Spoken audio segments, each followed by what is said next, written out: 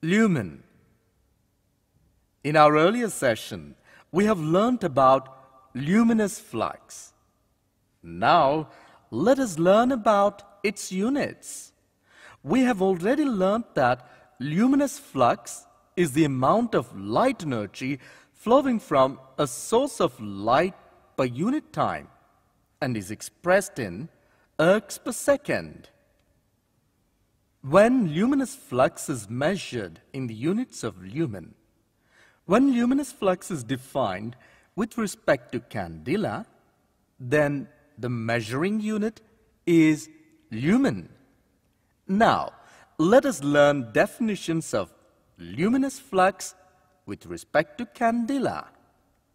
Definition Lumen is defined as the amount of luminous flux emitted within unit solid angle by a source of light of luminous intensity of one candela. That is, if the amount of one candela of luminous flux or light energy emitted by light source within unit solid angle is called as 1 lumen. Definition Lumen is defined as the amount of light energy emitted per second by a uniform point source of one candela within a cone of unit of solid angle.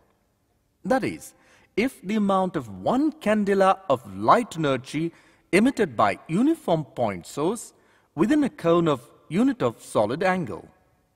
Definition A lumen is the amount of light flux radiating from a uniform source of one candela throughout a solid angle such size as to surround a unit area at a unit distance from the source.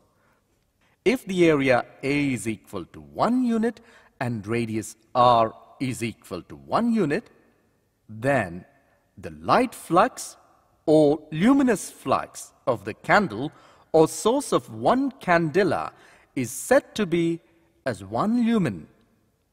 Lumen is equal to erg per second or steradian per candela that is SR per CD.